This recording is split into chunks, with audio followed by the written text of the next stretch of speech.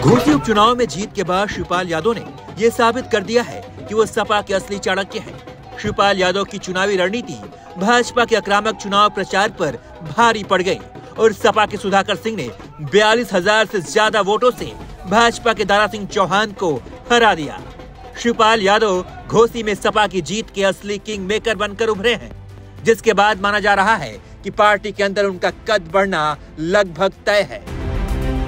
सपा के राष्ट्रीय महासचिव शिवपाल यादव ने मैनपुरी लोकसभा उपचुनाव की तरह घोसी में साबित कर दिया कि उनके मैनेजमेंट में कितना दम है।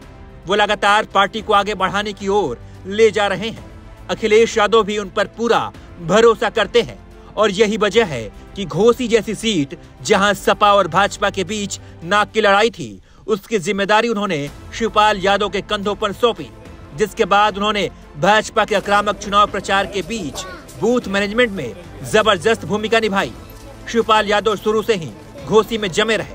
सुधाकर सिंह को सपा के टिकट मिलने के पीछे भी शिवपाल यादव की रणनीति है। जहाँ भाजपा ने अति पिछड़े समाज से दारा सिंह चौहान को उतारा था तो सपा ने सवर्ण वर्ग के सुधाकर सिंह पर दांव चला।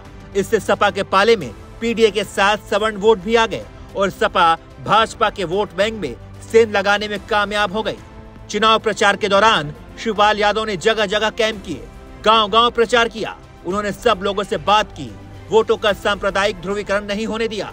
उन्होंने वोटरों की तमाम समस्याओं से लेकर लोगों से बात की और अधिकारियों तक उनकी बात को पहुँचाया। चाहे वो अल्पसंख्यक समुदाय में बिजली या पानी काटने की बात हो या फिर लाल और येलो कार्ड लेने की बात हो।